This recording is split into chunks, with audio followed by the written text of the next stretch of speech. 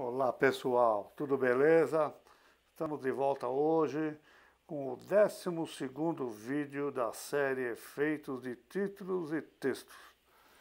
Então, a ideia desse, mostrar para vocês, é, estamos aí em Amsterdã. Olha, o nome Amsterdã vai aparecer aos poucos e aí veio um underline e entra no underline, sai e apaga o Amsterdã. Então é isso aí. Isso é simples, né, turma? Isso é bem fácil. Tudo sempre dá um trabalhinho, né? Mas. Vamos lá então. Eu já arrastei para cá o mesmo vídeo, está na timeline 1. Timeline 2 é o Amsterdã. Aí a fonte, você escolhe a posição. Isso é tranquilo, né? Amsterdã. E o segunda, terceira timeline é o underline aqui, que também pode mudar de cor. O primeiro azul, vamos mudar esse aqui? Vamos pôr amarelo? Para ver se fica mais bonitinho, vai? Vamos pôr amarelo nele. Ou verde, vocês que sabem. Amarelo. Por amarelo. Hum. Pronto. Então mudei ele de cor. Feito isso, definiu o, o, tracinho, né, o underline e o título, está tudo prontinho. Então é só definir agora o local, ó, porque se a gente passar aqui, ele está o vídeo inteiro. Então em que ponto a gente quer que ele apareça? Vamos fazer aparecer nesse ponto? Se a gente quer fazer ele aparecer nesse ponto, nós vamos lá. Vamos entrar primeiro em título. Vamos fazer, o título eu fiz aparecer com opacidade. Comecei do zero, então aqui eu vou marcar ele em 100%, vou dar um clique aqui, vamos acionar ele em 100%, vamos voltar 30 frames. 1, 2, 3, 4, 5, 6, 30 frames. E vamos zerar.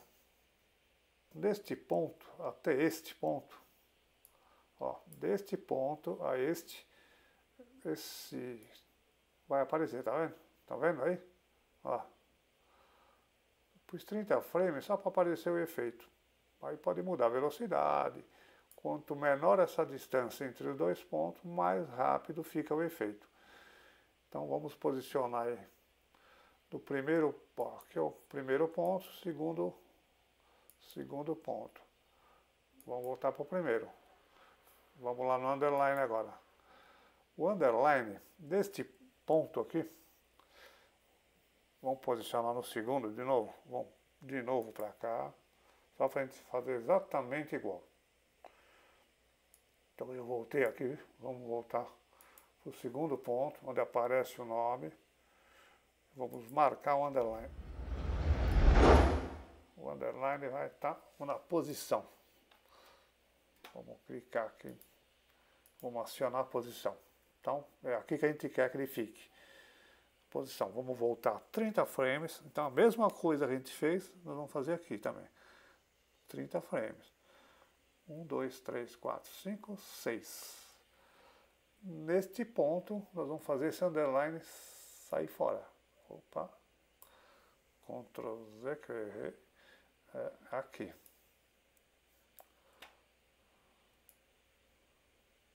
Pronto. Então tá pronto o efeito, turma. É isso aqui. Bem simples. E na saída, vamos fazer a saída também, né? Vamos, quer ver? Vamos só mostrar isso aqui. Então, o título aparece ele, e o underline para. A saída, a gente pode fazer o seguinte. Fazer a mesma coisa. Vamos fazer sumir, mas mostrar para vocês como é simples também. Vamos dar mais, só mais um tempinho aqui. Bom, Vamos pegar esse ponto, Ctrl C, Ctrl V. Duplicamos. Por quê? Esse cara aqui é 100% vai continuar 100%. Positivo, a mesma coisa vamos fazer no texto, que é opacidade. Então, este ponto, Ctrl C, Ctrl V neste ponto. Aí vamos andar 30 frames. 1, 2, 3, 4, 5, 6. E vamos pegar o primeiro, fazer ele desaparecer. Ctrl C e Ctrl V. A gente inverteu. A gente só fez isso, fez uma inversão. A mesma coisa vamos fazer aqui no, no underline. Fazer uma inversão. Só que aqui eu, eu, eu queria fazer ele sair pela. Ele entrou pela esquerda, vamos fazer ele sair pela direita. Aqui nós vamos fazer diferente. Então aqui nós vamos lá. Vamos puxar para cá. Pronto. Então é isso aí, turma. Vamos ver aí, tela maior.